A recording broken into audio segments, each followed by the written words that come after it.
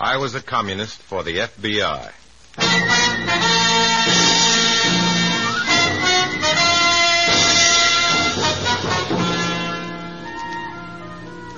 Starring Dana Andrews in an exciting tale of danger and espionage. I was a communist for the FBI.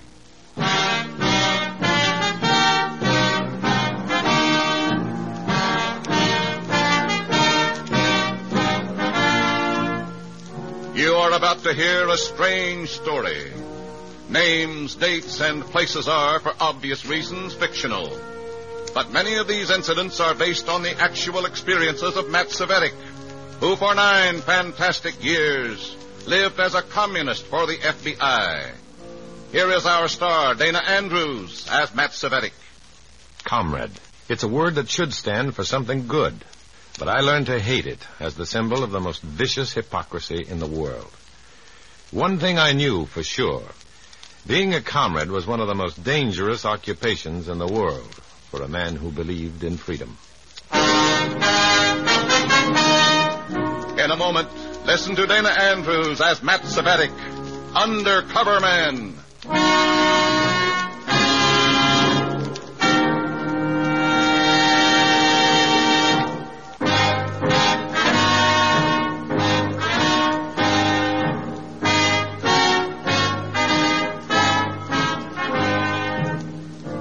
Here is Dana Andrews as Matt Cvetic, Undercover Man. This story from the confidential file is marked The Canadian Backbone.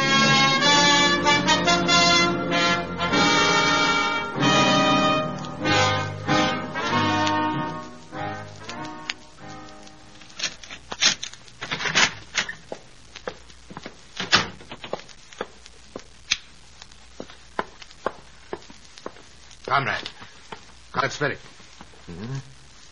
What? What's the matter? Wake up. Uh, oh, Comrade Drake. What time is it? A little after midnight. Get dressed. You have to deliver this package to a comrade in Calgary. Calgary? In Canada? Mm-hmm. Your train leaves in 20 minutes. That package must be pretty important. It is.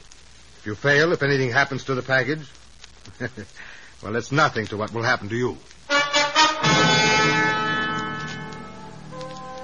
With that thought to comfort me, I was escorted by Comrade Drake to the station. In a few hours, I was crossing Victoria Jubilee Bridge into Montreal. And by morning, I was having breakfast aboard the Canadian Pacific Streamliner heading west. Oh, excuse me, monsieur, but may I join you? She was young, square jawed, wearing glasses and a smile like a garfish. For no apparent reason, the chill of fear iced my spine as she sat down at my table. Uh, monsieur, I ask for the menu. Hmm? Oh, of course. Here. Thank you. I can recommend the sausage. It's delicious, Miss. Uh, Suzanne Poitier.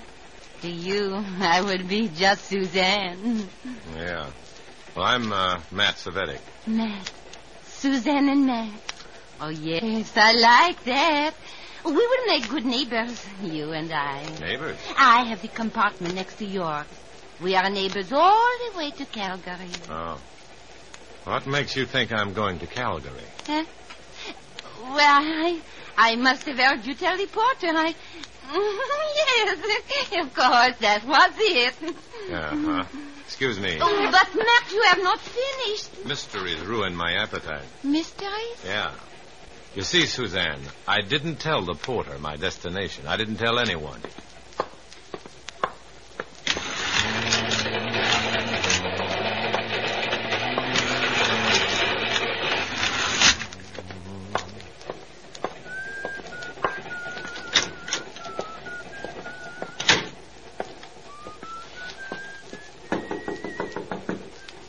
Who is it? Conductor. Oh, come on in. And I got my ticket. Matt, don't you recognize the man of nine angels? Mr. Ferguson, Secret Service. Hi. Nice to see you again, lad. Well, same here. You better let me see that package. Ah, you know everything, don't you? It's my business. Well, it's tough business this time. It's a strong box. Aye. Steel. And I don't have the key. I suspected as much. That's why I brought these tools of mine. Picklocks. Well, you did come prepared. It's going to someone in Calgary. Who? I don't know yet. He'll identify himself to me. Ah. Money. Hey, look at the size of those bills. What a sight for an honest Scot to see. Must be nearly half a million dollars. Mr. Ferguson, what's this all about? Hey, trouble. Lots and lots of trouble. In Calgary? That's the center of it. There's been too many breakdowns and troubles of all kinds recently on the railroads and airlines there. Too many to be accidents. Commie sabotage? Aye, that's my thinking. And if I'm right, this money is intended to help the Reds enlarge their operations. Yeah. Well, stopping this money will. I'm not stopping it. Huh? Yeah, they'd only get more money. The Reds have other sources. You know that. Sure, but if you stop. I stop. want the whole commie ring, Matt, particularly the leader. I need names and proof. Uh-huh. That's a big order. The communist in charge will have to keep records to account for so much money. All you'll have to do is to locate those books. Me? You can do it, Matt. If I was working with them, yes, but I'm not part of the Calgary cell. I'm only a courier. When I hand over the money, they'll expect me to go home. Then I guess you should go home. Try and understand, Mr. Ferguson. If I hang around asking questions, they'll they'll crucify me. All right, laddie. Why, if anything happened to you, it would be on my conscience forever. Huh. What conscience? Of course, if you insist upon risking your neck, I cannot stop you. Try. It would do no good. Hmm. You're a stubborn fool, Matt Cvetic.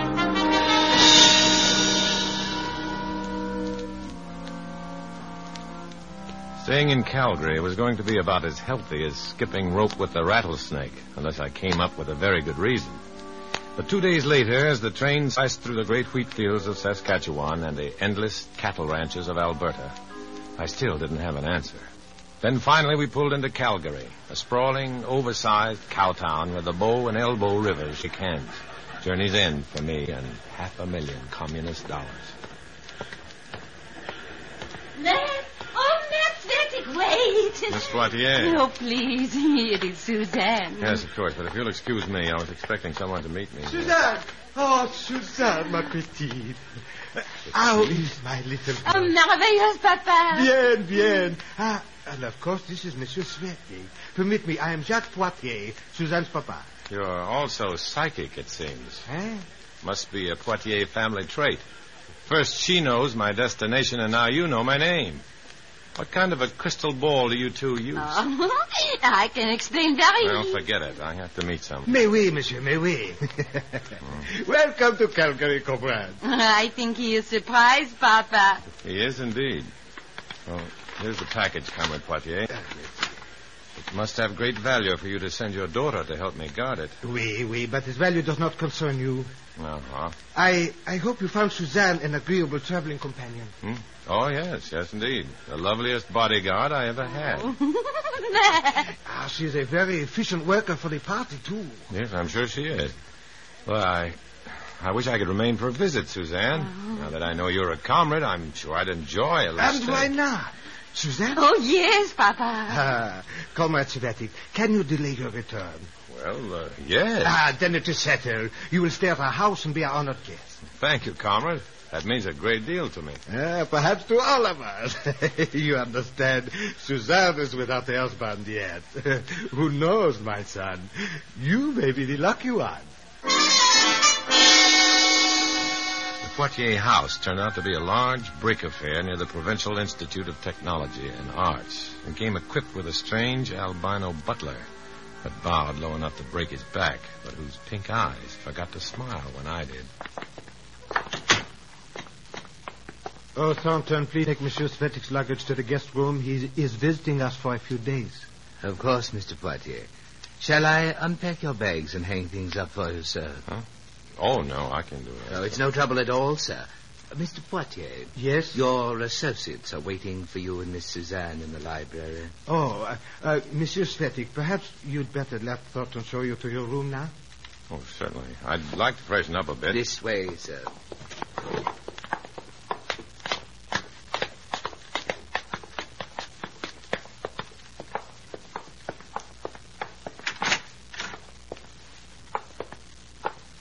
Mr. Poitier's associates.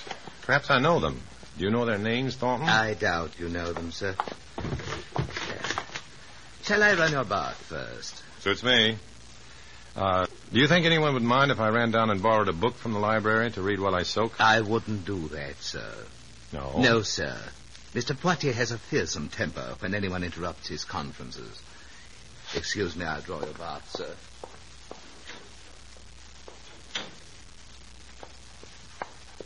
Well, what a nice, friendly place. He gave you good advice, Matt.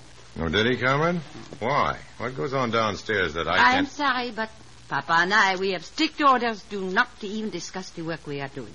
Orders? I thought your father was in Oh, charge. no. No, he is only the liaison man for our leader, but ah, I am saying too much, and you ask too many questions. I would not like having to report you as being uh, uh, overly curious about it, Mm-hmm. but if it became necessary, I would. Ah, keep that in mind. You'd do that. The result of any such report would bring down on you the most severe disciplinary action. You uh, understand what that means. Well, I sure do. Good. Huh? Then let's talk about things more pleasant, huh? What would you like for dinner? I, uh, I am a very good cook.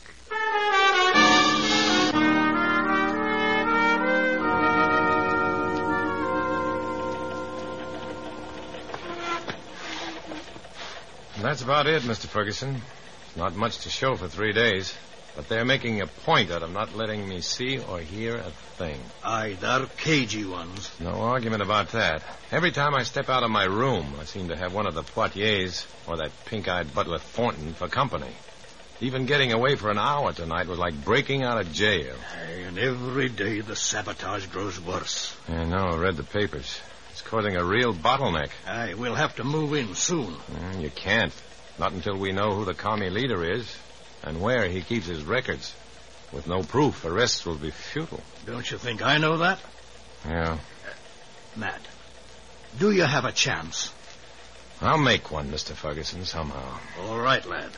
Be careful. I, I would not want anything to. That is, I. Sure, I know. Now, good night, Mr. Ferguson.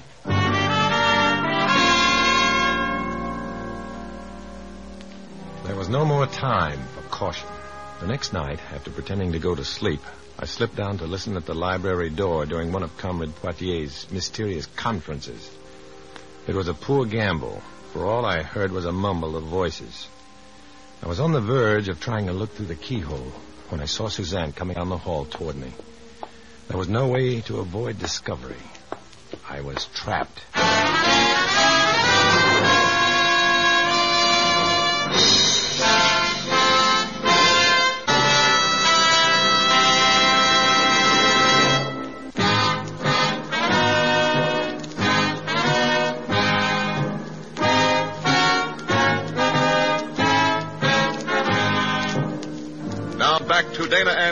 starring as Matt Cvetic in I Was a Communist for the FBI, and the second act of our story.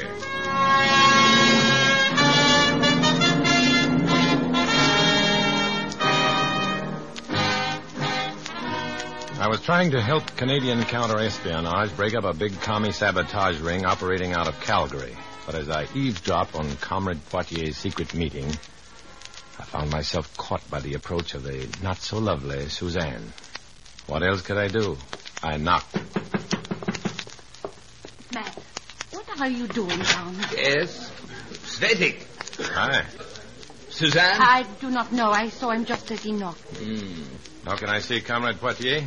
You pay very little heed to warnings. And for a butler, you don't pay much attention to a guest's request. I asked to see. Yes. But perhaps you'd better come in. Thanks. Oh, excuse me, Comrade Poitier. I didn't realize you were busy. The meeting is adjourned, comrades. Good night. Oh, look, you didn't have to break up the meeting. Oh, Comrade Matt, why did you do this foolish thing? Huh? Well, I. I guess I, I thought it was time to talk to you alone about some things. Alone? Oh, Oh, oh, so that is it. Suzanne, you hear? Yes, Papa. I heard too, Jacques, but I'm afraid I'll need some explanation. But it is obvious, n'est-ce pas? He came to speak to me about Suzanne. He came to spy, you mean? No, no, no. Oh, he knocked at the door. It, it was that the act of a spy. Comrade Thornton, if he was a spy, would he have been trusted to bring us the money to continue our work? Give him a chance. Oh, yes. Yes, we will vouch for him. All right, all right. But if he causes us any trouble, you'll both answer for it along with him. Oh, now, look, stop doing me favors. I'm a party member, too, remember? Yes, but you haven't been cleared for this kind of work, comrade. Cleared. Oh, that tags you as MVD. That's true. I'm an agent of the secret police, but I'm more than that. I'm in charge of this operation.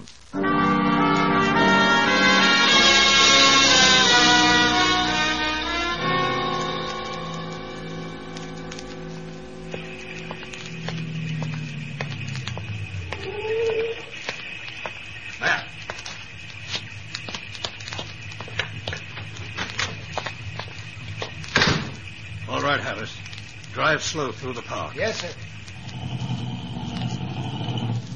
Well, Thornton, Poitier's butler. the boss? Uh huh. But I haven't any ideas where he keeps his records yet. Matt, I think Thornton's books may be right in the Poitier house. He'd have to have them close at hand. Mm, that figures. But you'll have to be sure.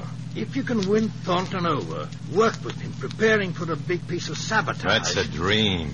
He won't let me even. Tell him you know of a secret shipment of copper. A big double trainload coming through Calgary tomorrow. No dice. You'd have ways to check up. Let him. The train is coming. Oh.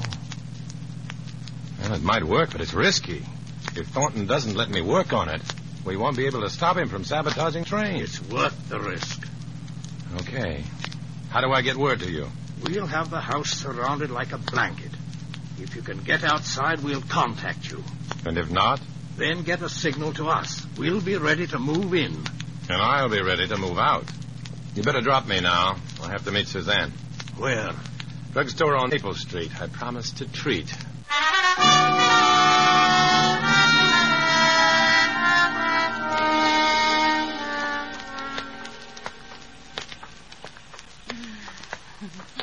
Thank you, Comrade Matt. Yeah. I, I love our working together, don't you? You bet. We have so much in common, you and I. Um, you, um, you haven't spoken to my father yet. Oh, well, that is, because of the way things worked out, I, I decided it would be best to prove myself first. Oh, you don't have to. Oh, I must, or Comrade Thornton will believe we're putting sentiment ahead of our work. Oh, but Don't worry, Comrade Suzanne. I discovered something tonight that I think will do the trick. I'll show him I can be just as valuable to the party as anyone else. but of course you can.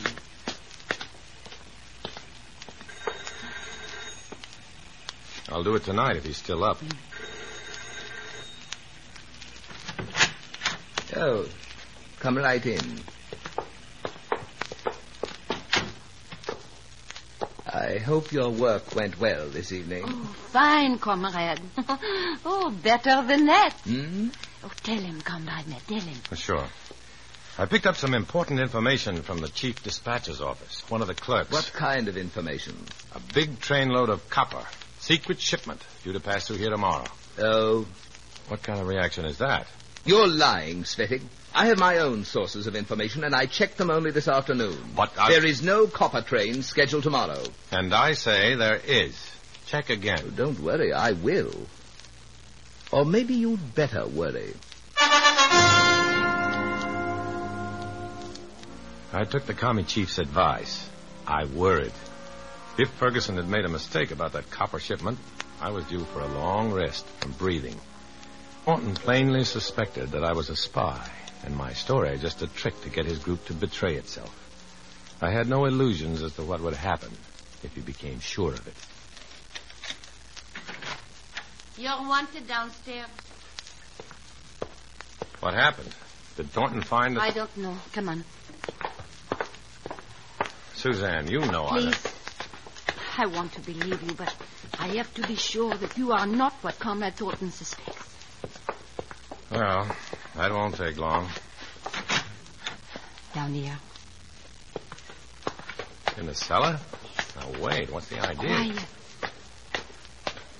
Like a morgue. Cold. What's in this room? The bodies? Ah, good. Come in, comrade. Suzanne, you go back upstairs. Very well. Hmm? Coming in? Oh, yeah.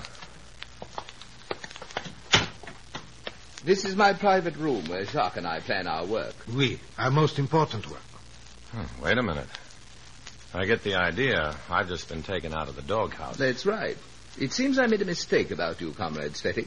Oh? Well, don't bother to apologize. I wasn't going to. I acted as I felt proper on the information I had. Only, as it turned out, my information was wrong. The train is coming through here tomorrow, then. Just as you said it would. You've proved yourself both alert and loyal to the party, comrade. We can use these things. Thanks. I've also got an idea how this job can be done more effectively. Hmm? Your work has always been in or close to the railroad yards. But where else? Where would you pick, comrade? Kicking Horse Pass, where the railroad enters the Rockies. It's 40 miles from here. Now, if we arranged a real accident to happen in that pass. Aha! Oui, it would be magnifique. You're right, Jacques. It would take weeks to retrieve that copper and repair the line. You don't have much time to set this up. And if you don't mind, I'd like to work with you on it. Well, why not? Jacques, get my records out of the safe. We'll see whom we have to do this job.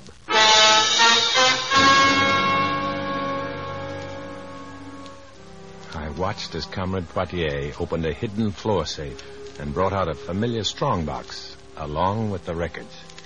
It was time to signal Ferguson now, but that didn't look so easy from a small cellar room with no windows. Then I noticed the pot-bellied stove. Pay attention, comrade. What? Oh, yeah, it's cold in Put here. some wood in the stove, then.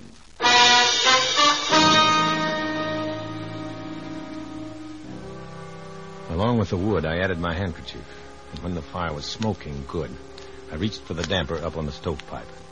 I opened it for three quick, short intervals, followed by a long one. Somewhere above the house, I knew the smoke was rising in puffs that spelled out the Morse code letter V. V for victory. I could only pray that Ferguson saw it and understood. Comrade Cvetic, what are you doing? Oh, it's this damper. It seems to be stuck. You have it open now. Leave it that way.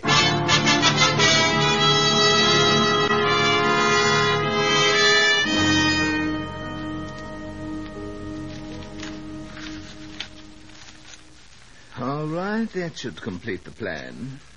Jacques, you send Michelin Lane to Kicking Horse Pass.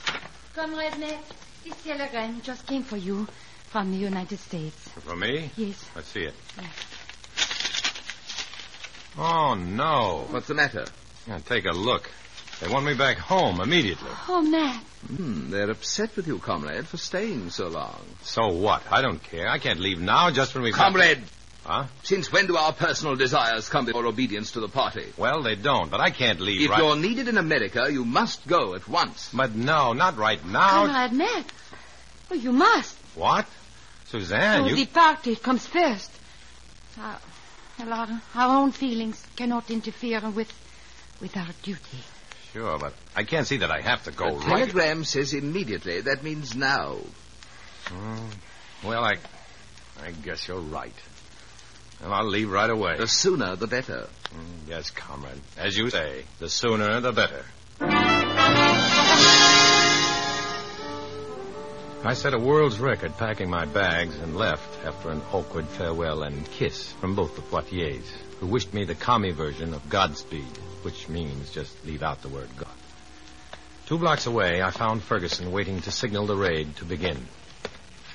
Smoke signals? You must think you're an American Indian. Well, it did the trick. You'll find Thornton's records and the money in a floor safe in a room in the cellar. Good. Good work, Matt. We are ready to move in. Stubborn fool that you be. Sometimes it's a pleasure to have you around. Same to you, sir. And thanks for the telegram. Well, now, I couldn't take a chance on your being hurt or maybe killed in one of our own raids, could I? It would look terrible on my records. yeah, but you saved me from a fate worse than that, Mr. Ferguson. Worse, lad? when you raid the house, take a good look at Suzanne Poitier. I think you'll see what I mean. Goodbye, sir.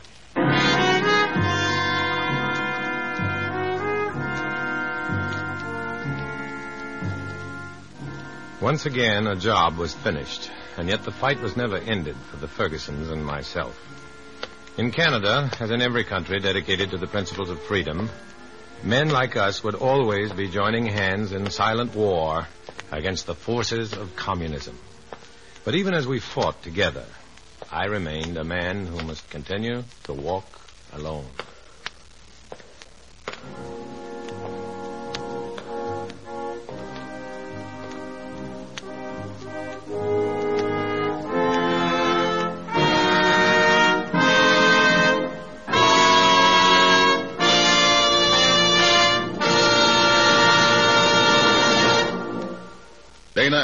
Andrews will return in just a moment.